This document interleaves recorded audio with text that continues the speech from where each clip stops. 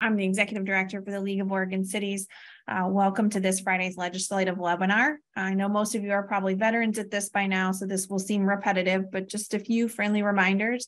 Please keep yourself muted during uh, today's webinar unless you're specifically asked to unmute. It will help us control background noise.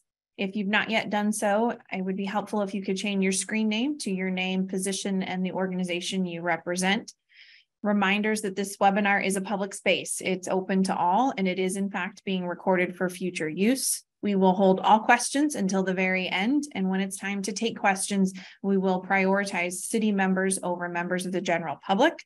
We will end the webinar today no later than 1 o'clock p.m. And you can follow all of the LOC's legislative activities as well as everything that we do for and on your behalf on our website at www.orcities.org. So, what are we going to talk about today? We've got quite a few things that we want to highlight for your information. We're going to start um, today talking about a farm pharmacy subsidy bill that could potentially impact some cities. We're going to have several issues to discuss related to housing and homelessness, in particular, the governor's housing bill, the state's housing budget, and the Oregon Mayors Association's homelessness task force funding request. We will talk about portions of the drought package. Uh, we will remind people about some broadband surveys related to the Cybersecurity Center of Excellence. We'll discuss economic incentives and where they stand right now with the legislature. And we're going to conclude with a recap of where local governments stand generally as we approach the end of this current legislative session. So we have a lot to talk about today. Um, I think almost every single one of our lobbyists will be presenting at some point. So let's kick off first with pharmacy subsidies. Uh, Scott Winkels, I saw Scott turn his camera on. I think everybody should know Scott by now, but just in case he is our general government lobbyist, he works regularly on all of those administrative matters that impact your cities. And Scott, I think today you're going to talk to us about House Bill 3013, which is a bill related to pharmacy subsidies. Can you explain generally what that bill does and why our cities should care about it? Um, Sure. Uh, if I if I could first go into my normal segment on this show and give the update on the walkout, um, uh, I'll just let it will be really really quick. Um, you know, talks are ongoing. Um, I don't think uh, anybody can really tell you right now what's happening. I think the the thing that does change. I think people are starting to feel that this is a real implication. Uh, the potential for for uh, signing, going into sine die without a budget is now real, and people are talking more. Um, I remain skeptical that there will be a deal, um, but uh, uh, hope springs eternal, and you know we could we could see talks. I think the conversations right now really aren't at the leadership level; they're at the senator on senator level, and uh, that may change the, the, the, the dynamic a little bit. I do know that DOJ has been working on sort of how to address what happens next. Um, so, you know, uh, uh, stay tuned. We may see some developments next week, um, but uh, uh, uh you know, believe uh, lots of rumors, lots of things being reported out there, lots of things being said on social media. But I think we can believe it when we see senators in seats at this point. So on to House Bill 3013. Uh, so this bill uh, is uh, very concerning uh, from a human resources standpoint and cities as employers. Uh, what the bill does is it uh, seeks to place some additional regulations on your pharmacy benefit managers. And pharmacy benefit managers are they're, they're enterprises that sort of help manage and control savings on prescription drugs uh, prescription drugs are one of the highest cost drivers for your health insurance benefits. Um, you know, we know in the CIS pool, cities next going into the next fiscal year, they're getting hit with about a 5% on average increase in the Regence plan and 11% on the Kaiser plan. So it's this is real dollars that are, are coming out the door. Um, and what the bill does is it seeks to protect the pharmacy, the pharmacies, uh, and ensure that they're they remain economically viable which in concept isn't something that I don't think the league would ever engage. We, we would prefer to be out of this conversation. Uh, however, the way this is done uh, is to uh, increase the dispensing fee. So every time CIS fills a, a prescription or any, any plan fills a, a, prescription, the pharmacy is paid a dispensing fee. Right now, uh, CIS has about 283,000 prescriptions for 21,000 covered lives and uh, uh, we pay about two bucks per for that 283,000 prescriptions. Uh, under this bill, that fee would go up to about would increase by about ten dollars um, on on average. So you're talking about about a 2.8 million dollar increase just to the prescription drug plan uh, from this one component of the bill. Uh, very concerning. I think the cities that are that are self-insured or they're purchasing from a broker through the market, uh, they're looking at similar. We'll be looking at some similar increases. Uh, and I think the Kaiser, if you're on a Kaiser plan, I think they have they, they operate a little bit differently, but they also do have some concerns with this bill. Um, and more broadly, uh, no one really understands in the fiscal discussion on this bill has been very stilted and very uh, uh, incomplete. And I don't think there's a lot of understanding of actually what this does to the health insurance marketplace. And so CIS, we, we have to ensure our retirees in our pool with our actives, which isn't really common uh, among employer plans. And so our, our seniors are actually going to, our retirees who are, who are, who, who pay full freight for their benefits are are really going to suffer uh, if we see, uh, particularly if they have chronic conditions, which you know most people after they retire they do have something going on. Uh, uh they're going to be hit, you know, up to ten to fourteen dollars for each script at the register. And so we are asking members to call their legislators and say, and to table this bill for this session, you know, regardless of the walkout scenario, and uh, uh, really stop and think about how your how this attempt to get at PBMs is really hitting the people who pay the premiums, which are the employer and the employee and, and, and retirees. So uh, it's a very uh, you know concerning piece of legislation. There are some other components of it that I don't think we we would be fine with, such as none of our business if DCBS wants to license PBMs. Um, uh, you know, there's some transparency issues that's not our issue. It's when they seek to subsidize the pharmacist to uh, from the PBM or subsidize the pharmacist uh, with this fee and put it on to the, payer. So that is the concerning concept. That is very concerning to us, and um, uh, hope that you can uh, take a look at the bulletin article, and if you could reach out to your legislators and, and voice your opposition, that would be greatly appreciated. Thanks, Scott. And just to clarify, because you're knee deep in this issue and others may not be, when you say PB, PMB, who are you referring to? PB, I'm sorry, PBM, it's a pharmacy benefit manager, and it's a uh, it's sort of a broker, and they help manage uh, uh, prescription costs. Thank you. Um, and just to clarify, the league's asking that we kind of table this not because we disagree with the goal, but because we disagree with the financial impact it will have on our membership. Is that fair? That's fair. I think they aimed at the PBMs and hit us. Excellent. And that House bill number, just to remind everybody, is 3013? Correct.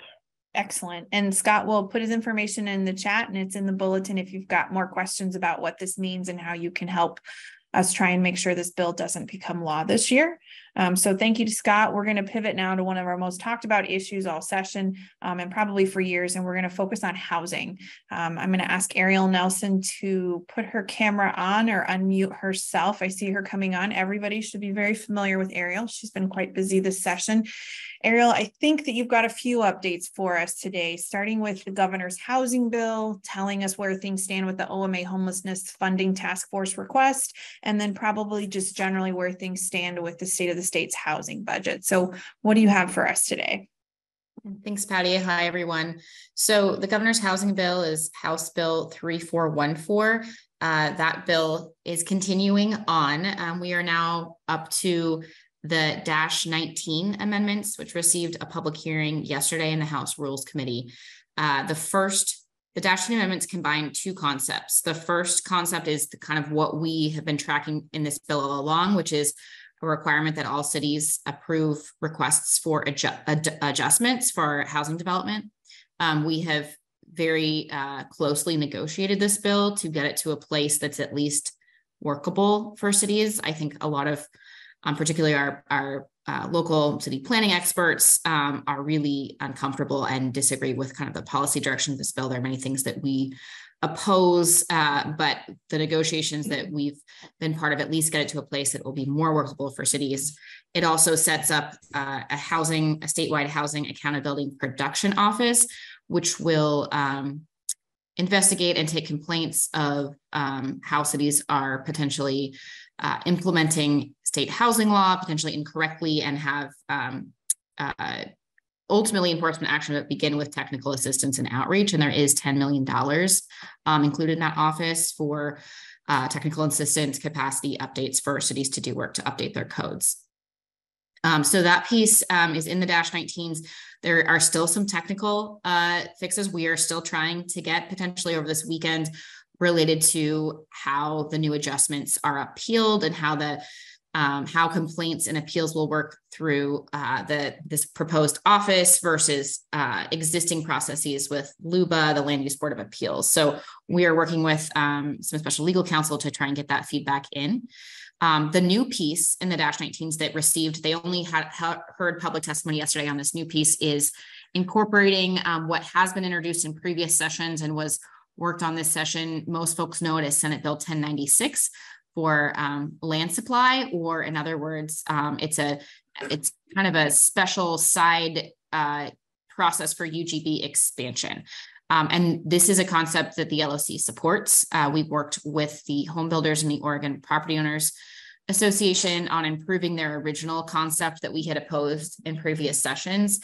Um, so this is a um, kind of an alternative UGB expansion process. You have to meet certain parameters to do it, and it's entirely optional for cities. So a city can uh, can apply to go through this process, or uh, a property owner developer can do it, but they have to have the agreement with the city, um, and there has to be a, um, a concept plan um, and specific types of diverse housing types and affordability measures are, are included in that concept plan.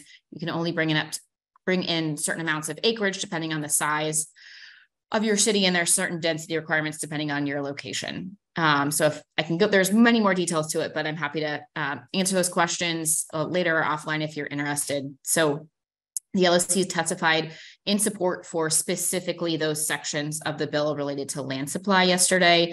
Our official position on the entire bill is neutral uh, with um, significant implementation concerns on the record, and we're pursuing additional hopefully changes uh, over the weekend. Um, the bill just had a public hearing yesterday. It has not had a work session to get a vote to move anywhere or kind of get further approval. So we're anticipating that may happen next week, maybe Tuesday, um, before we're hearing things may start to shut down in the committees. So that's House Bill 3414.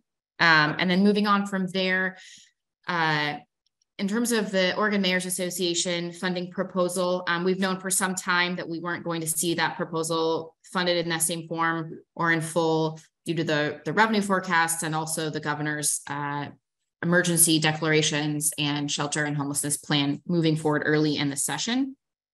Uh, we did see some, uh, we have seen some updates um, on what the legislature is looking to approve this session. The Oregon Housing and Community Services, that's the housing agency, uh, their budget bill, Senate Bill 5511, um, has been uh, finalized. Uh, it went, it moved out of the subcommittee and I believe out of Ways and Means this morning. Um, and there uh, was significant funding in there to support continued implementation of the governor's emergency order. So you may remember there was early funding that was approved in House Bill 5019, um, already uh, passed and signed by the governor earlier this session. That's to stand up additional shelters, expand shelter capacity, rapid rehousing, and some emergency rent assistance. The um, significant significant funding we saw in the OHCS budget this week will is continued operations and support to um, to continue those efforts and support that capacity going forward. There's also um, some funding for existing or for operations gaps for previously approved uh, navigation centers and project turnkey shelters. What we were looking for and didn't see in this budget is we have a handful of cities who stood up shelters um, with our federal ARPA, one-time federal ARPA dollars, um, and we'll need uh, ongoing operations starting in 2024. Um, we did not see that in this budget. We understand that the funding that is there for shelter is limited to, limited to things that the legislature specifically stood up. However, we are hearing um, there's a chance we may see that funding in um, what's called a program change bill. It's one of the standard uh, end of session bills uh, with with lots of budget odds and ends. So we are we expect to see that bill as well as what's known as the Christmas tree bill and other um, end of session budget bills, uh, maybe posted Sunday night, early next week, Monday, Tuesday. Um, the governor is prioritizing that shelter gap funding, at least in the amount of 10.5 million. Um, and so that's still, we know at the top of her list, it's not everything we think should be in there. It should be additional. Um, so depending on what we see come out um, in the final budgets or final proposed budgets next week, um, we may be looking at um, continued advocacy into the short session or at an emergency board budget, interim budget hearing in the future. Um, the other piece that's happening uh, behind the scenes that hopefully many of you are aware of, and there are additional communications going out this week and later today, is um, Oregon Housing and Community Services is hard at work implementing the governor's emergency order on homelessness. Um, so for the the cities that are part of uh, specifically named in the emergent the governor's emergency order that are, ha, have multi-agency collaborative MAC groups, those plans are underway. But for the majority of communities, majority of cities um, that are in the balance of state rural Oregon continuum of care, that's uh, 26 counties. Um, the agency is working on setting up how they're going to be allocating that funding. And so hopefully many of you are aware they're they're moving towards a new kind of um, system where they're establishing what are called local planning groups. And that's basically an umbrella term for things like a House Bill 4123 pilot, which many of you are part of, or the MAC, or it could be a MAC group like in the emergency areas. But the attempt is to provide more meaningful regions for allocations of funds because the ROC, the rural Oregon continuum of care, is you know most of the state, and that's not a meaningful region or a meaningful way to plan for addressing homelessness, right? So they're they're they've had some listening sessions over the past couple weeks. They're going to do a little bit more. They're open and available for your outreach. They have a team of staff available. I just had a great meeting yesterday with an OHCS staff person and um, Mayor Villalpando from Vale, who's been participating and kind of they're really looking for um, LSC and AOC's guidance and how to get our membership in, involved. And this is a direct result of the OMA's leadership in putting that proposal out there. Cities are very much on the map and seen as critical partners and leaders in implementing the governor's uh, executive orders. Um, and these local planning groups will be set up for this initial round of emergency funding, but they are planned to be the structure going forward. So any future funding, future programming, that's really the direction the state and the agency is looking to go. And they're looking to do that in partnership with you. So this may be something that you feel your provider is handling, your service provider, or that your county commissioner is handling. That is great. But we want to make sure whether you're in the driver's seat, you have specific needs, uh, specific opportunities, specific ideas, or you simply want to be kept in the loop so that you can be letting your community know what's happening, your constituents know. Um, this is really important information. So it is a little bit rushed coming out of OHCS. They're on a very aggressive implementation timeline. They recognize it doesn't feel very realistic, but we have to start somewhere. And I think the critical piece here is that cities are a key partner in this work.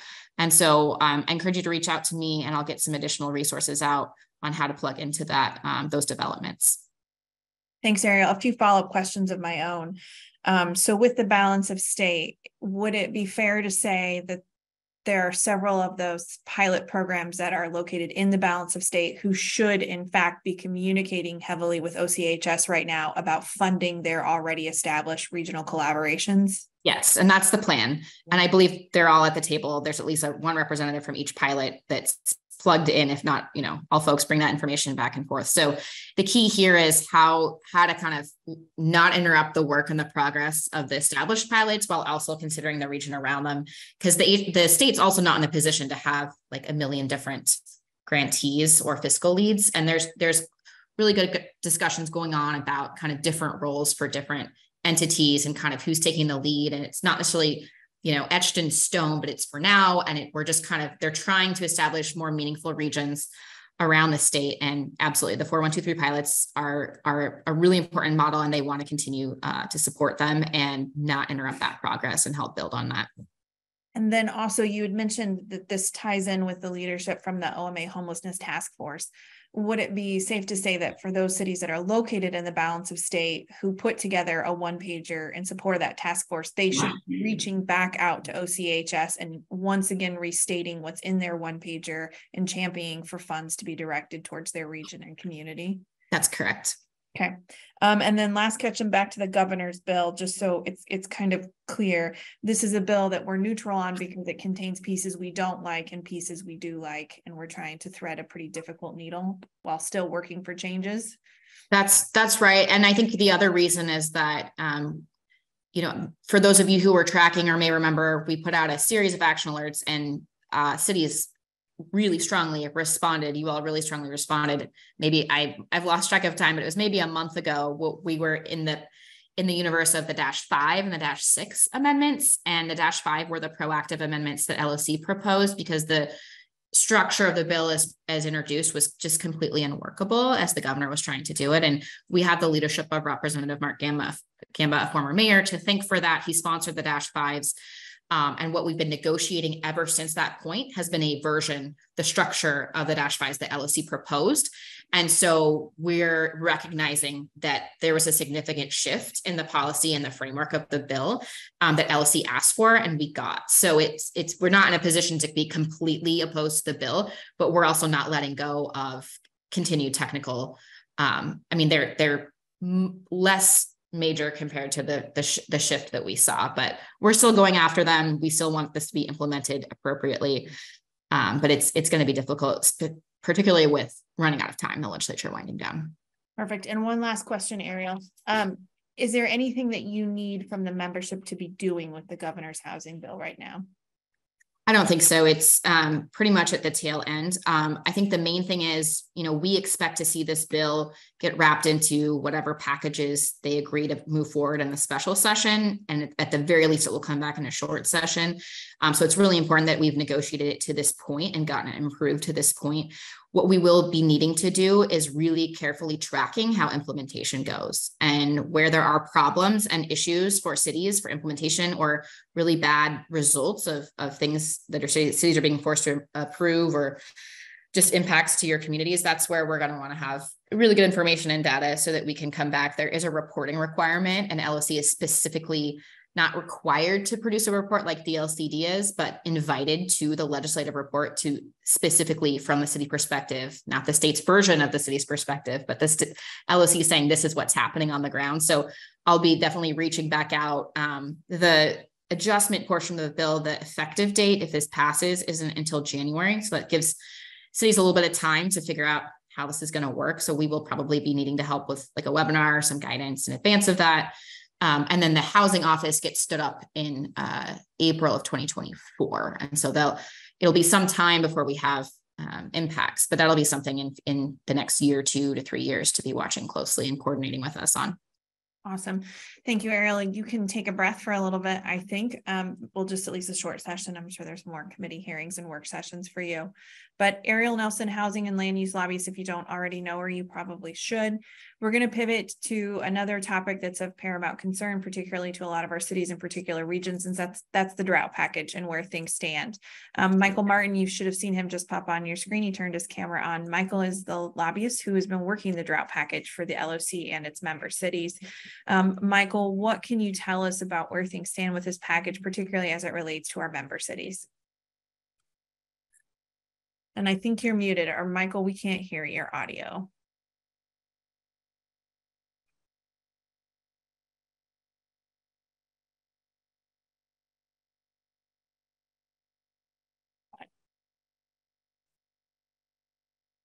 Try again. All right, Michael, I'm going to pivot to somebody else and we'll come back to you while you try and figure out your speaking things. So, Nolan, hopefully you're on. uh, good, you came on. We can pivot here in local government. So Nolan Plesha is on. He is our telecommunications and broadband lobbyist. Many of you have heard from him quite frequently over federal funding that we have coming our way and the assistance he needs from you guys to make this work. Um, so Nolan, where do we stand? I know we've got some surveys out there that you've been asking people to fill out, but what is it the membership needs to know about your portfolio this afternoon? Yeah, first of all, can you actually hear me? Sounds yes, like I can hear okay. you. You're good. I promise. Make sure I'm not having technical issues. um, so uh, I'll start with the broadband front. Um, so over the last few weeks, folks may have realized I've been sending out a lot of notifications about community broadband listening sessions that have been happening across the state. Uh, these listening sessions were open to public officials as well as the public in general to really help inform uh, what the state needs to do to create the statewide broadband plan uh, that is necessary for the state to apply for the broadband uh, equity access and deployment funding that was passed under the IIJA. And just for some context, um, this funding originally was expected anywhere from 500 uh, uh, up to 500 million dollars. Uh, recent projections based off of challenges that some cities might have gone through, uh, as well as the state. We've actually increased the number of unserved areas that are identified uh, which is a good thing in terms of the allocation. Uh, and it's projected the state might receive an additional $200 million on top of what we were already projected. So between that, ARPA and other sources, we could be receiving up to $900 million uh, for broadband infrastructure projects. The vast majority of this will be really focused in our unserved areas of the state, and additional funding from that will go to unserved areas.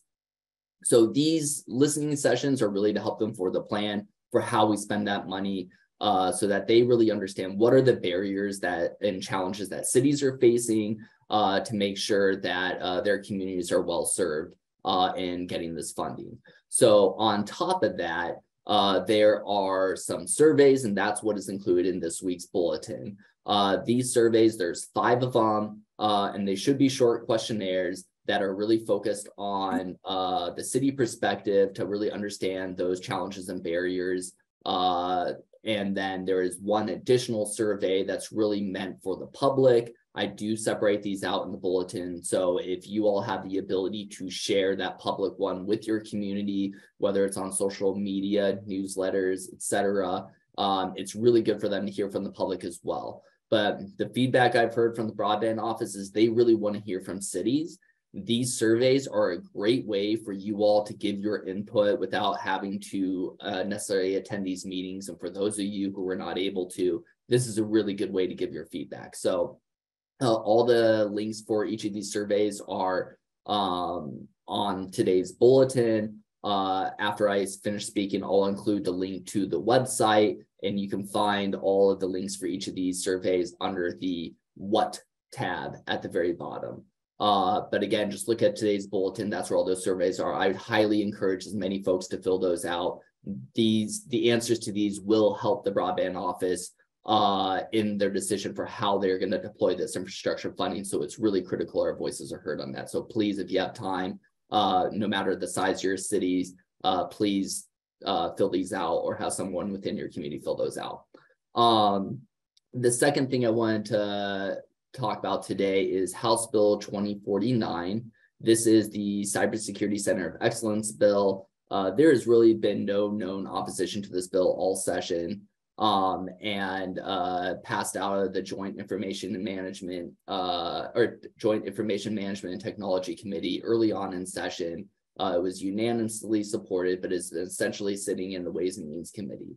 Uh, the Center of Excellence the Cybersecurity Center of Excellence is being stood up by Portland State along with OSU and U of O. And originally, as designed, was supposed to work with all of our uh, additional community colleges and universities throughout the state to provide uh, uh, cybersecurity threat assessments uh, and help for local government. Um, this week, uh, we finally got an indication of what the co-chairs are willing to fund for that bill uh, which was a significantly reduced uh, amount than we were originally asking for. So in this new uh, reduction, it's now limiting uh, the, the center to just the three main universities with the op optional choice for other uh, higher educational institutions to join.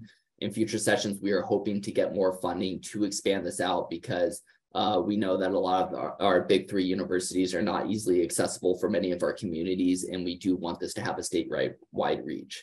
Um, that being said, uh, local governments will still have the ability, no matter where they are, to work with the Center of Excellence uh, to do these kind of threat ass assessments and analyses for their communities.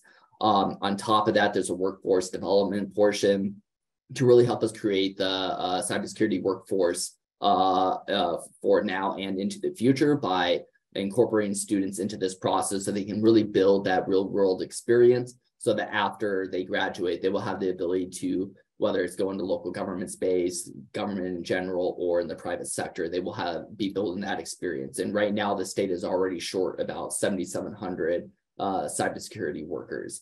Um, so this is really good news. And within the current bill, one of the things they did is they made sure to provide funding to keep that stood up. So those are some of the uh, good and negative aspects of it. One piece that I'm significantly concerned about is on top of the Cybersecurity Center of Excellence, excellence we asked for uh, $3.1 million in matching funds for the federal state and local cybersecurity grant program that was passed under the Infrastructure Investment and Jobs Act. Uh, it requires uh, matching funds from the state to collect the federal funding. For the first round that was last year, the state didn't have any matching funds uh, available because we did not pass that in the previous short session. So we were able to apply for a waiver so that we didn't have, we could still collect that funding without actually putting out the matching funds.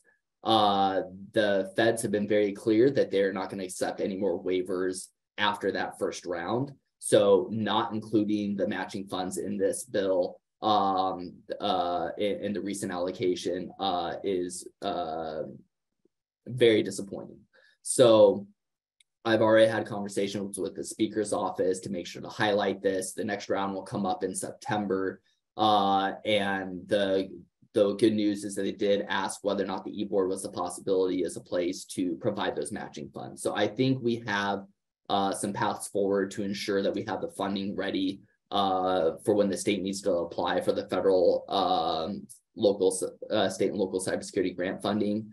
Um, and uh, as the bill stands right now, I think it's in a really good place to get the center stood up it will require some future advocacy to make sure that it uh, remains whole and that it goes further to the original intent in the bill.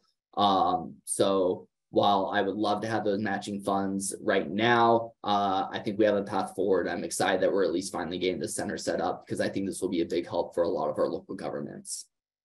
Thanks, Nolan. Two quick follow-ups from my end is there anything that the members could do to help make that match more likely or is it just a pause for them and we'll revisit this later i think that's a it's a pause for them right now that's a good question um, I think for right now it's a pause. I, we're not going to be able to make any changes. I, I was told that very explicitly. Uh, we're not going to make any changes before the end of session. Um, granted, we don't know what the end of session is going to look like. If there are budget bills uh, in a special session, that's another possibility where we can get that funding as well. So I think we have a few um, chances to ensure that we get this funding. The e-board would be our final backstop um, to do most likely in September. Um, but uh, I think when it comes time, what we'll probably ask for members to reach out and just remind legislators that this is a very important piece uh, because this funding is specifically directed to you, to cities. So we need to make sure that the state's providing that funding so that we can get all that federal funding. Thank you, Nolan. And um, just a reminder for the survey stuff, Nolan's going to put those in the chat if you didn't want to read the bulletin this week. So you'll see that um, before you hang up with us here today. We're going to pivot to economic incentives. Um, so Lindsay Tennis, most of you should have known her. She's been talking a lot about all kinds of economic development tools. Um, we've been working to make sure you retain in your toolbox this year. So Lindsay, what can you tell us? Where are things standing right now with some of the economic incentives that you've been working on all session? Yeah, thank you, Patty. Um, so the bill that I have recently been talking about is House Bill 2009, um, which right now is serving as an omnibus bill for local economic development incentives, um, including enterprise zones and the strategic investment program, along with the accompanying gain share program, um, as well as the R&D tax credit. Um, so this was an alternative proposal on the House side to Senate Bill 1084, which LOC um, has been supporting. Uh, we saw kind of a flurry of amendments come up with 2009 this week um, and another public hearing yesterday morning.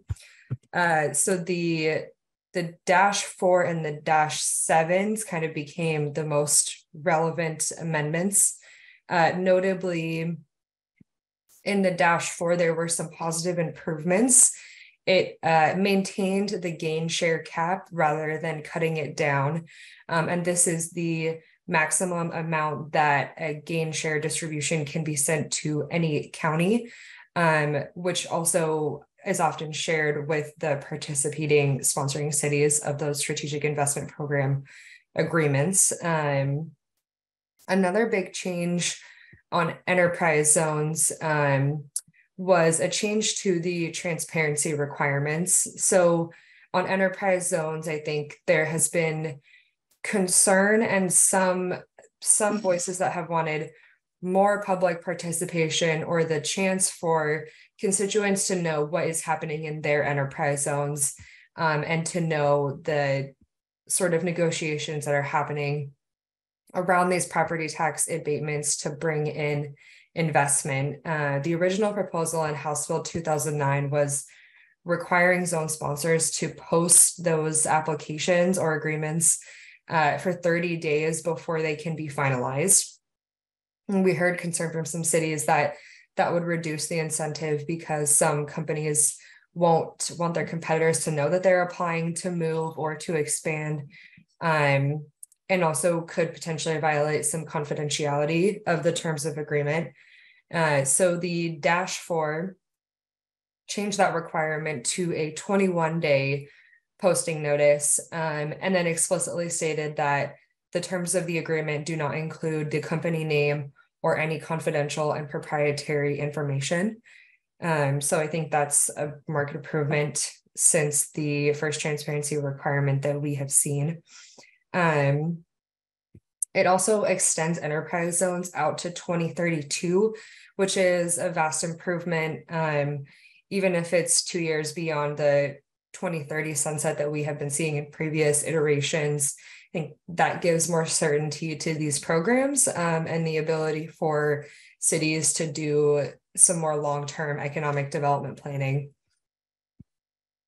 Um, and I would say the big question mark on enterprise zones right now that is still being negotiated um, is what a school district fee will look like.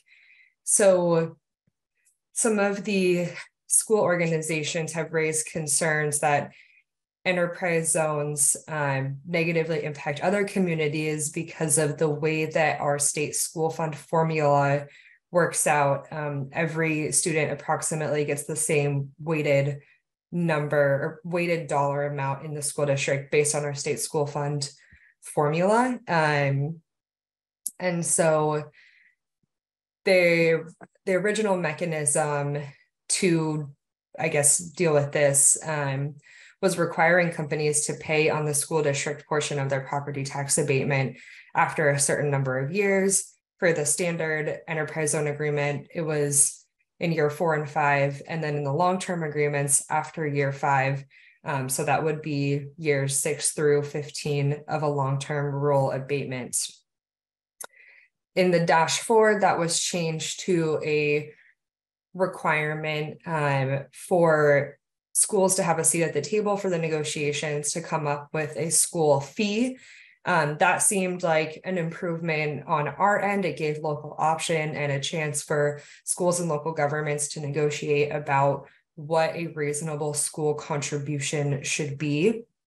I think then we learned that that was kind of placeholder language because um, the Legislative Revenue Office and the revenue chair were trying to figure out a way to require the school district portion to be paid that didn't run afoul of measure 5 and 50 um, so then the dash 7 was released yesterday afternoon and we saw this kind of funky formula um, that would require companies to pay a school fee based on the average weighted student attendance of the local school district um, and a portion of the property value and some rate, which has yet to be seen what will be put in for that dollar amount rate. Um, but we've heard that the the policy goal that at least the revenue chair is trying to reach is figuring out how to leave schools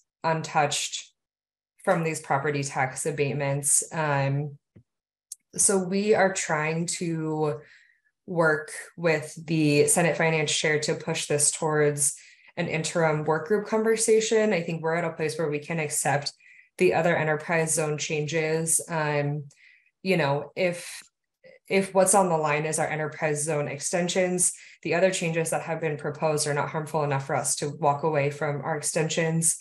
Um, and we are really pushing for an a work group conversation on this school fee portion um, and just trying to m- make sure that any school fee portion does not reduce the incentive enough to no longer make it a viable option for cities and economic development. Um, it's kind of hard to know what's happening right now because a lot of these uh, conversations are happening really quickly and moving very fast and it's been hard for us to know what this formula will end up being or what even the policy goal is for this school district fee um, so we're we're trying to kind of move as fast as we can in understanding where this is going. Uh, we've heard there may be a work session on this bill Monday, um, but it could get pushed out even longer than that if the work isn't ready. And I think another message that we're trying to send is to not pass something without knowing what the policy implications are, especially if a proposed formula could run into Measure 50 complications. Um, I think as you all know, our property tax system is incredibly complicated. So we just want to make sure that we understand um, all the facets of what could happen with this kind of change. Um, so yeah, as I said, House Bill 2009 may have a work session this coming Monday. Um, we have not seen another amendment yet. I could see one at some time over the weekend um, but it's a little a little up in the air right now. Um, and I would say, besides the school fee portion, with these economic development incentives, we have been able to get this bill in a much better place um, and have had, in particular, Senator Meek has been a really strong advocate for these programs um, and has been able to push the bill in a more positive direction. Thanks, Lindsay. And so do you need anything from the members on supporting the work session or work group idea for the school fee portion? Or do you feel pretty comfortable where you are now that everybody can just kind of hang tight and see how things shuffle out next week? Yeah, I would say hang tight because we don't exactly know what we're advocating for or against on that piece yet has been kind of the struggle. Um, so yeah, I think just just hang tight for now and we're um we're trying to respond as quickly as we get information. Perfect. Thank you, Lindsay. I appreciate all your work on this. Um, I have heard that Michael Martin has fixed his technical difficulties. So we're going to try again to give you an update on where things stand with the drought package and how it relates to cities. So Michael, let's test. Can I hear you? Can you hear me okay? You're good this time. So Michael, tell us what we need to know about the drought package. Wonderful. Uh, thank you so much for that, that pivot, Patty. Um, yeah, just want to give a quick update on uh, some key policy um, priorities in the drought package that got included. And I just want to at least first set that, you know, this was intended to be over a $250 million package. And what is now going to be about $110 million. Um, I think if you, you know, if you go back and listen, you'll see that Chair Helm and and Rep Owens talked about they brought that up uh, over quarter million because there is a real, real true need. Um, but the here's what was included that I think um, helpful. So first is uh, DAS, uh, the Department of Administrative Services, will enter into a contract with the Oregon Association of Water Utilities to provide technical assistance uh, to small and very small community water systems. And some of this technical assistance, I'll just briefly uh, around infrastructure, uh, funding, financial stability and water rates, and water supply reliability and a lot of different things in there. So that's that's one. Uh, two in drought package, and this is House Bill 2010 um, with the dash six amendments. Uh, number two is that it continues place-based planning. And if you know, this came out of the integrated water resources strategy, and this is a locally led um, basin focused uh, program. So there's funding to continue that along. And then lastly, uh, we have we've been advocating for ratepayer assistance for water and uh, wastewater utility bills. Uh, this was a first of its kind federal program. Uh, unfortunately, it did not get uh, funded and continued in this program. However, we do have a good foundation and it, uh, LPRO will be doing um, legislative policy uh, office will be doing uh, a study looking at um, you know different models of ratepayer and water uh, utility assistance. So this will be a conversation going forward into into future sessions.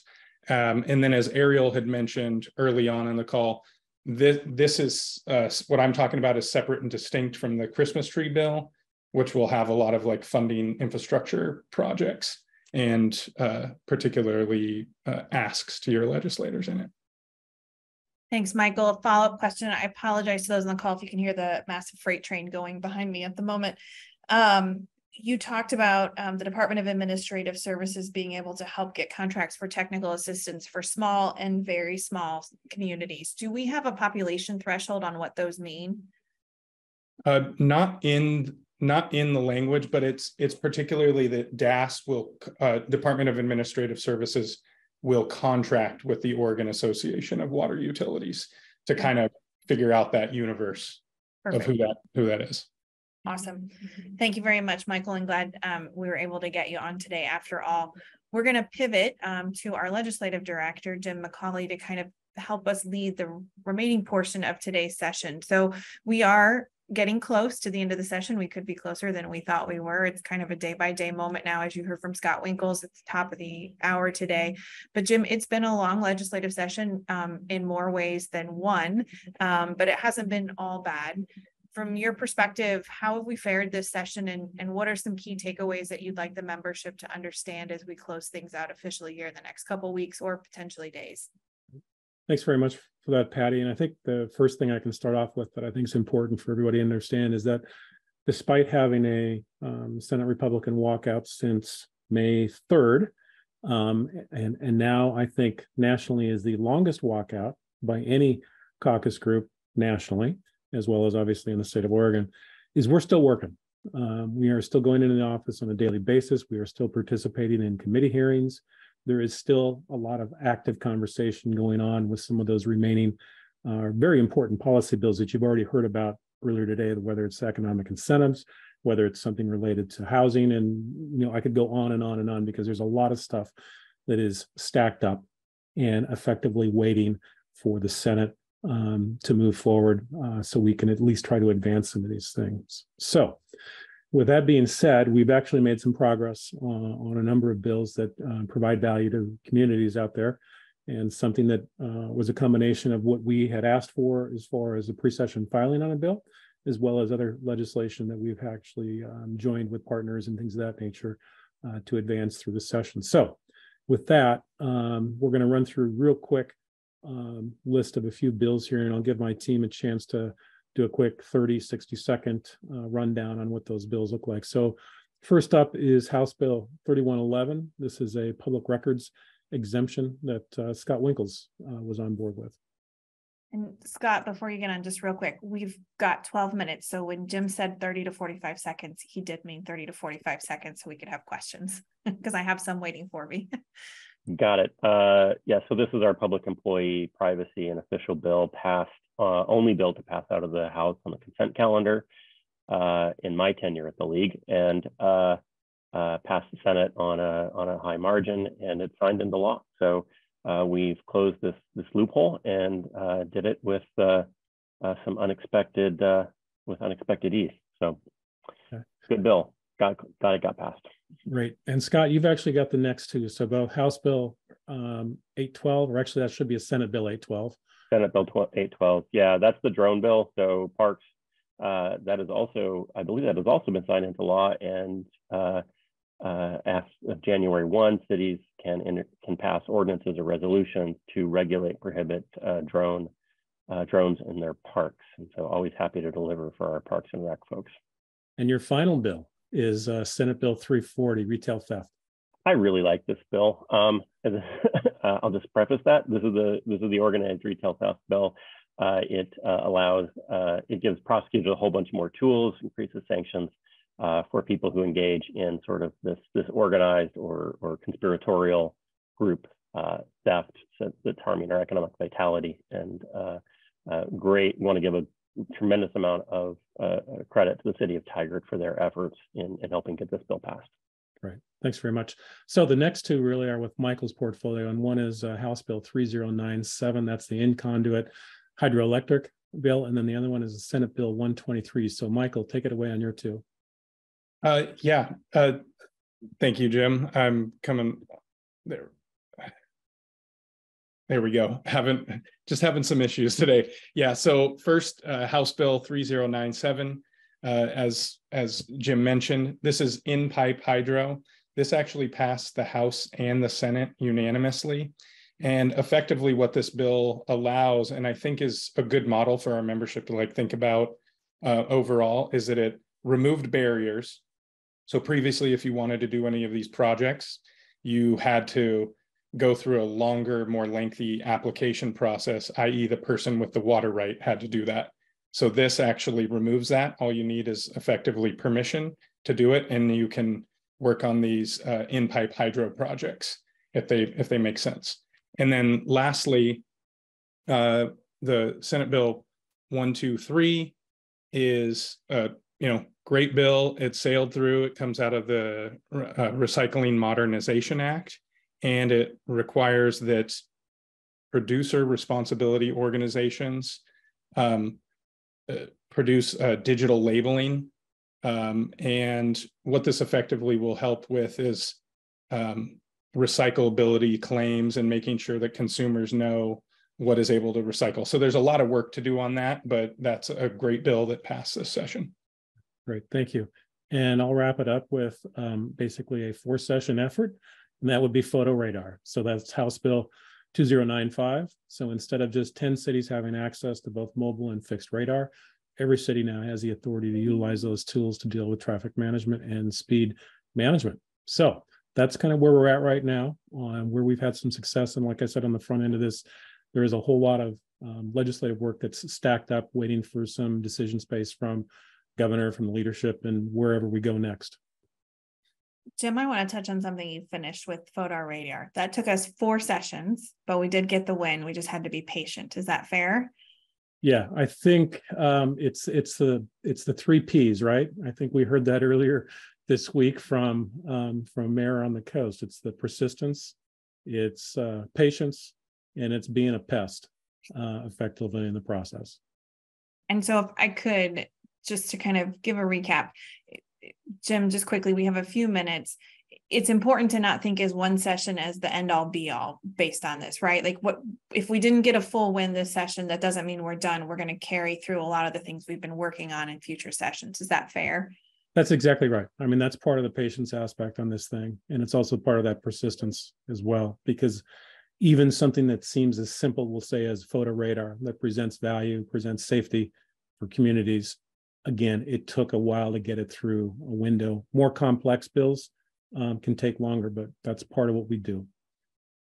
Thank you, Jim. And thank you to all the lobbying team. Um, I would normally try and tell you that the finish line is in sight, but if we might be facing a short session or a special session, that's probably not true. Um, but we're still here. We've got some times for questions. Ariel, I think the first question is actually going to come up for you. It's in the chat. It's from Mayor Rod Cross of Toledo. Um, it is related, I think, to the homelessness task force as well as state funding for OCHS. His question, Ariel, is should we be reaching out to OHCS about our capital construction requests as long along with our one pagers related to the task force?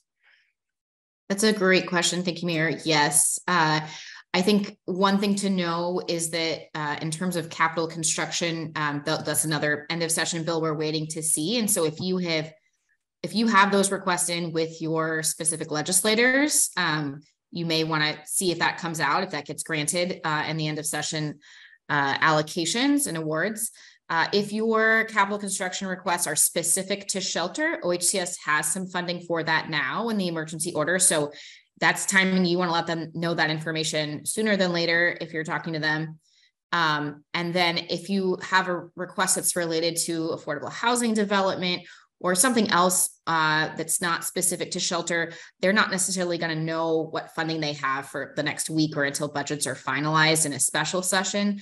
So just keep that in mind. I don't think it's it's never too early to kind of reach out and understand um, what what your options are, but they also have um, competitive funding processes for some of their other resources for development specifically. And so um, it's always good to know kind of the cycle for those. Um, but if you if you um, haven't, if you don't have a contact at the agency and want to know who to talk to about it, feel free to ask me. But also if you if you're talking to folks and if it's specific, especially if it's related to shelter and homeless uh, response, then absolutely um, share that information with OHCS sooner than later. Thanks, Ariel. And I did originally see a hand up from Greg Hinkleman, the city administrator for Clatskanie. Greg, if you still have your question and you unmuted yourself and turned your camera on, so I'm assuming you do, please feel free to ask.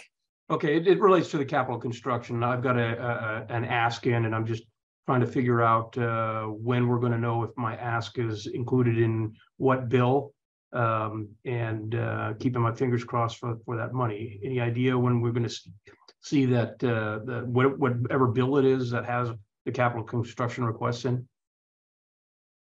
Um, I can take a swing at this. Feel free to check in with the rest of my team here. So you have a basically Christmas tree bill or a programmatic. You have a series of different bills. I'll just say at the end of the session, which could involve just straight on capital construction related. It could be uh, programmatic change bill. It could be Christmas tree bill. We're going to find out numbers soon uh, we should know, I'll say sometime next week, um, where some of those details emerge. So rest of my team, has anybody heard as of today what we're looking at for numbers yet? Not for numbers, but one thing I was just going to say is if you're working with your local legislator, uh, reach out to them if they were the ones that helped submit that ask. Uh, check in with them. They sometimes have updated information well before anybody else does. So I would highly encourage you just check with whoever your champion is for your capital construction ask. Okay, thanks, guys. We've got about three and a half minutes left. Um, I will give people an opportunity to ask a question. There are at least two things I do, or three things I really want to tout to the membership. First, if you have found these webinars helpful this session um, and you're interested in seeing, you know, kind of a comprehensive, all-inclusive look of what's transpired over the last six months, um, please make sure you sign up for the third quarter small cities meeting. Um, all of our lobbyists will be going around the state during the third quarter of this year to give a legislative update at the small cities meetings. Now, historically, small cities are anything less than 75 7,500 in population. However, given the nature of this particular update, if you are larger than 7,500, please feel free to come to this meeting so that you can get a comprehensive assessment of what transpired during this long legislative session. You can register for those small city webinars. They are in fact open for registration now. You can do that on our website at www.orcities.org. If you go to our trainings tab, you'll clearly see where you can find it quite quickly. Please make sure to register for that. The other thing, I know many of you are new to local government or you're sitting on council with people who are new to local government, or because of staffing changes, you have new staff who are just getting into city government. We will be rolling out a municipal fundamentals training class. These are in-person trainings. They're happening in six locations across the state. They will begin in August and they will cover home rule, social media, public contracting, and how you can handle a difficult council meeting or board meeting. These are going to be held in Vale, Echo, Coquille, Forest Grove, Salem, and Redmond. They are half day trainings, which will include lunch for a cost of $30. And then last, for those of you that are veteran LOC members and regularly like to go to conference and particularly like to register the day conference opens because you desperately want to stay at the conference hotel. Note that the conference will open on July 13th. So we expect to open registration on July 13th, which is approximately a month away. The annual conference this year will be October 12th through the 14th in Eugene at the Graduate Hotel. We look forward to seeing all of you there. We're still not sure where we stand with the legislative session. So for now, I can't tell you if this was our last webinar or if we have more to come. But please make sure that you follow the bulletin and keep track of your emails that come from the league staff. And if we need to have more webinars, we will. That will also be true during a special session if one is called. So for now, it's Friday. It's one minute till one. Um, I hope all of you are not like us here at the league who will be working all weekend and instead that you can have a nice Saturday and Sunday and enjoy your time off. Thanks for everything you do for your cities, your communities, um, and the assistance you provide us when we work on your behalf. Have a great weekend, everybody. Thank you.